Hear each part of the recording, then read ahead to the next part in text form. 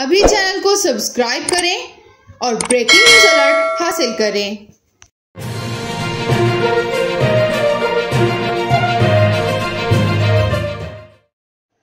सबक वफाकी वज़ीर और Pakistan Tehreek Insaf P T I के रहनुमा असद उमर ने कहा है, मुल्क के ज़र मुबादला के ज़खायर में तेज़ी से कमी आ रही है और बाहर से फंड्स लेना भी मुश्किल होता जा रहा है।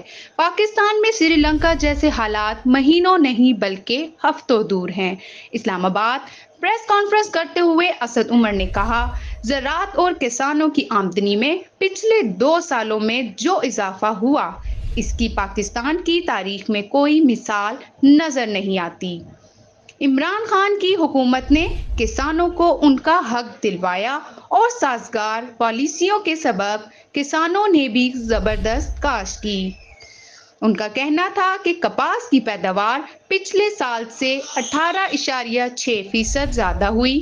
गन्ने की पैदावार गुज्त साल से छः फ़ीसद ज़्यादा और पाकिस्तान की तारीख की रिकॉर्ड फ़सल पैदा हुई।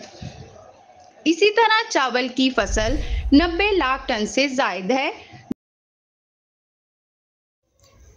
अभी चैनल को सब्सक्राइब करें और ब्रेकिंग न्यूज़ अलर्ट हासिल करें।